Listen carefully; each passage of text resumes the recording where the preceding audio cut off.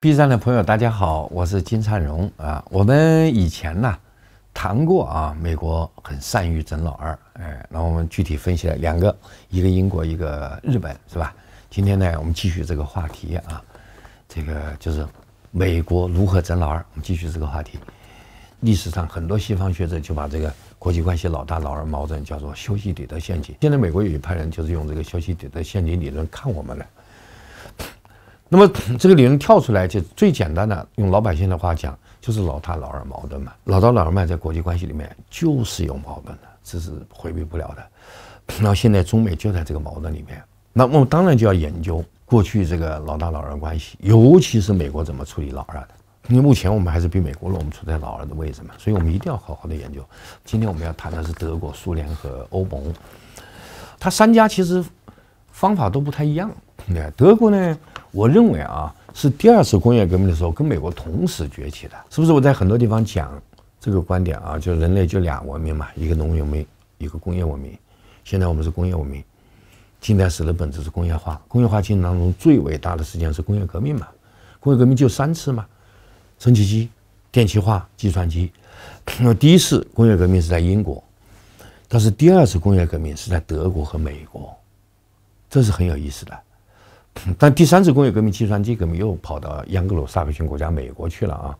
三次工业革命两次半是盎格鲁撒克逊人干的，就是第二次工业革命有一个非盎格鲁撒克逊人参与了，日耳曼人、德国人，那所以德国就崛起了。但德国崛起以后呢，它有个问题啊，它在欧洲属于比较晚的，它现代化比较晚，它周边那些国家当时都比它发展的早，西班牙、葡萄牙、法国、那个英国啊。所以等它崛起的时候呢，那些国家已经都有强庞大的海外殖民地了。德国就冤得慌啊，觉得我现在崛起了，我的能力比你强啊。因为到十九世纪末，德国的工业生产已经碾压那个法国和英国了嘛，所以德国就说，我能力比你强，结果我那个地盘这么少，所以他就要瓜分权力，然后就形成了这个德国与很多周边国家的矛盾，尤其是与法国。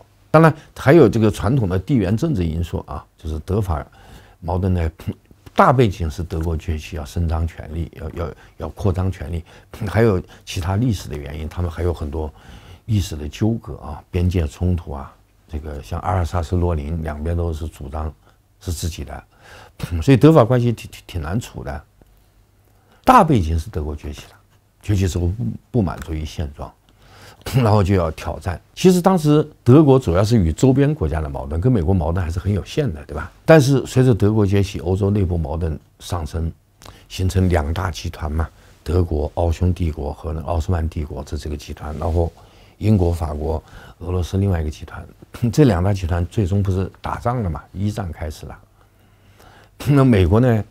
其实就这个机会啊，就就开始介入欧洲事务，从而登上历史。舞台就世界政治舞台的中心去了。没有一战，美国崛起就不会那么快。那么一战呢？美国很聪明的，就看两边打。等你们两边都打得精疲力竭了，对不对？砰，他参战。你想，一战一四年开始打的，美国一七年才参战，两边都打得差不多了，他收拾残局，到山上再逃出去了啊。这是一个基本情况啊。那美国其实跟德国没有直接的矛盾啊，但是他认为机会到了，是吧？所以他在这个过程当中，他是任这个矛盾发展。任两边打，从一四年大战爆发到一七年，他观察了差不多三年，等你们都差不多了吧？砰，他进来了。进来以后，因为他那个块头大嘛，他那个工业呢，那更是超过德国啊。就那个时候工业，在一战的时候，美国是绝对领先，德国呢是在欧洲领先，知道吧？世界领先是美国。那美国哎，就就借助这个矛盾嘛，借助你们家打吵架，啪，开始介入欧洲事务。然后开始小试手脚啊，成为世界领导，那还没有把德国整趴下。那么二战就不一样，二战呢，那个德国带了一种复仇主义心理重新崛起，而且那个崛起的那个领导者是纳粹党嘛，那确实是在道义上讲，比这个一战的德国道义上要更差。而希特勒那个下手挺狠，是吧？迅速的控制了很多欧洲大陆国家，包括把法国都打臣服了嘛。这个时候美国感到威胁了，那威胁结果就直接就上了。当然上他也是等了一段时间。哎，等到那个欧洲战场啊，双方消耗的差不多才进来的，对不对？那个，那么这一次呢，他就直接就出兵了。美国打日本也这样的啊，就是军事上就直接碾压，直接打。嗯，跟英国还不太一样，英国毕竟是父亲啊，是他原来血文化血缘上的父亲，所以对英国主要是靠政治手段，鼓励民族自觉，把英国肢解。对日、德，他有点不一样，他是直接上军事手段的，是吧？对日本。这个全面占领用原子弹，对德国呢其实也是占领的，对不对？也是直接控制的。德国在二战以后，应该讲就基本上就是成了美国的某种这个附属国了，是吧？被美国就直接驻兵控制了。虽然德国后来呢内心呢也有点不服，就是通过跟法国合作搞那个欧洲一体化啊来抗拒美国，但是现在看来呢，总体来讲。这个美国对德国的控制非常成功的。德国作为世界综合国力第二的国家，这个历史在二战以后就就彻底结束了。所以我们简单总结一下，大概对德国的手段啊，跟日本有点像，就是军事手段是为主的。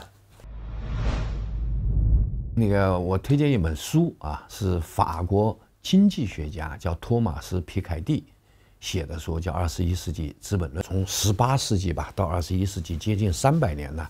这个经济史他做了很好的研究，一个总的结论就是资本主义必然导致严重的贫富分化。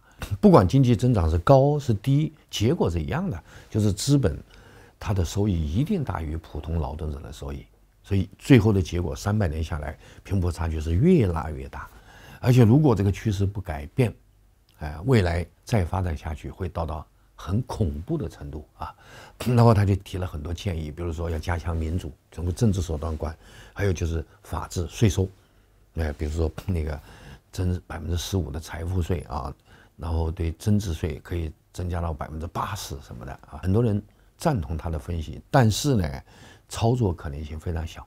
哎，但不管这最后他的那个政策影响怎么样，这个书呢还是很值得一读的。然后就是到了苏联了啊！二战以后，美国、苏联都是胜利国，然后都都都是那个很庞大的国家，然后都有一个小圈子，于是就成了世界两大盟主了，是吧？一个华约盟主，一个北约盟主。对付苏联呢，美国不能用军事力量了，因为我们人类进入到核时代了，所以呢，他是这样啊：一方面在东西德那个地方搞那个军事对峙。北约、华约对峙，另一方面呢就是核军备竞赛啊。但是对付苏联呢，最后他成功了，还真不是军事。冷战结束不是美国把那个苏联砰打败了，对吧？控制它不是这样吧？这个是像中国这种大国要警惕的。呃，他直接跟你硬碰硬他不干，因为成本高，他又没有胜算。但是用就是意识形态渗透是吧？颜色革命啊，这个手段呢，这个效率更高一些。是美国在过去啊，整苏联是难度相对比较高的，但他做成功了。然后有硬的方面，军事压力、科技压力、经济压力，但是我觉得最后更有效的是软的方面，啊，影响社会，就苏联的社会精英接受西方价值观，搞新思维，最后自我解体。这是中国是尤其要重视的一种一种经验教训，通过意识形态斗争影响苏联。让苏联的精英层，包括最高层，戈尔巴乔夫管宣传的雅这个雅科夫吧，都都都西化，接受西方观点啊。最后呢，让他自我解体。那么对付苏联，那个就是他手段是很多的，有军备竞赛，一直在军事上威慑他，限限制他；有科技竞赛，有军事啊，有有经济这个。但是现在我我们作作为适合诸葛亮的角度看呢？好像美国的军事手段不是很管用的，最后管用的首先还是经济，打压油价，让俄罗斯整个经济啊丧失它的制造业优势，然后依赖石油，然后等到依赖石油的时候，啪打压油价，然后呢，另外就是我觉得思想渗透这一块儿应该是非常成功的。那么苏联是九一年解体的，十二月二十五号就是圣诞节那一天解体的，几天以后是不是欧盟成立了？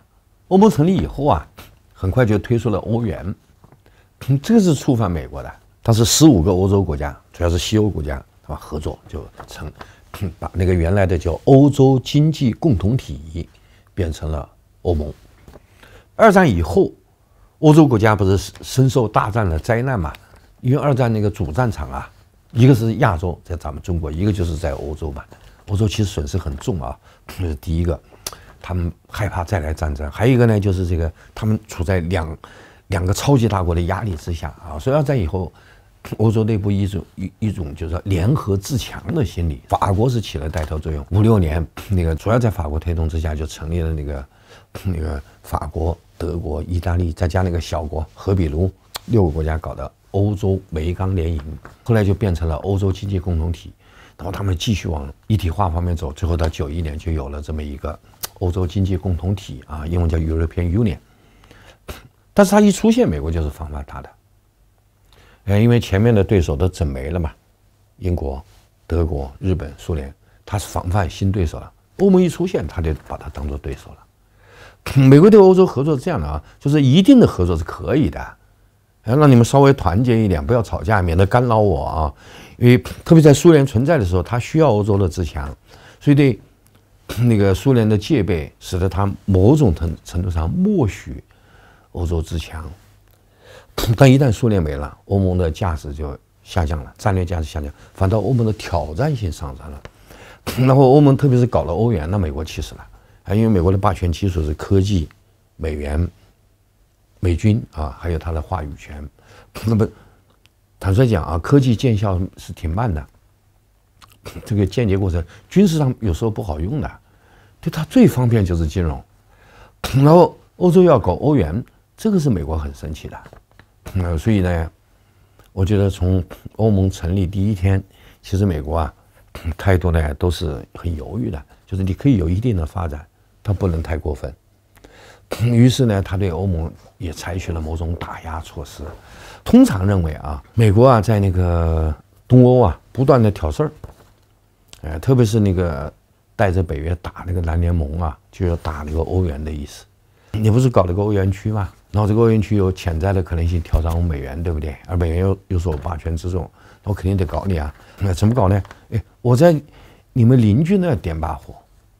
你的精力就得去灭火去了。美国不在周边打的，他是跑到欧洲的邻居去打，然后这个对欧洲损失就是挺大的。所以现在巴尔干地区一直是欧洲现在一个安全隐患嘛，对吧？南联盟后来实际上分了七个部分了，对不对？六个国家再加一个科索沃嘛。原来南联盟可是应该讲是巴尔干地区非常强大一个国家，是吧？现在是一分为七了，一分为七，南联盟是倒了霉了。其实欧洲。东边也留下了一个安全隐患呢，那这个对 欧元就是不好的。OK，这是基本情况，就是说对这个冷战后吧，苏联解体以后出现的欧盟啊，美国呢是利用加防范，他这么一个心理，你还得听话，也给我帮忙，但是对你的发展呢，他要加以某种限制。市场最终还是要我来控制，战略要我来控制。就是欧盟呢，它也有它的高光时刻，主要是九十年代，它很快就暗淡下来了，对不对？英国已经退出了欧盟，有些国家嚷嚷的也要退出欧盟，所以欧盟的前途就有问题了。那现在还在，呃，但是比以前啊，比它那个刚成立的时候是不是要弱小很多？你看去年，美国 GDP 世界第一，中国第二，欧盟跑第三去了。我们刚成立的时候，九一一九九二年一月一号，它 GDP 超过美国世界第一的。结果跑到现在还不如中国了，越活越抽抽啊。